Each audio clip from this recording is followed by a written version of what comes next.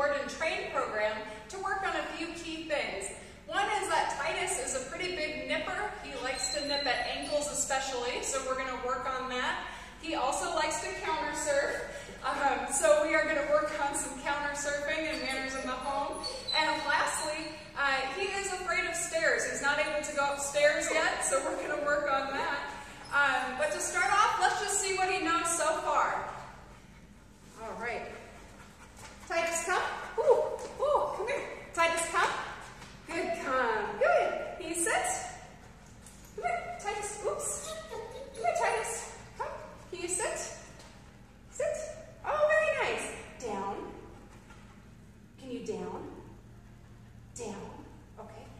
this place.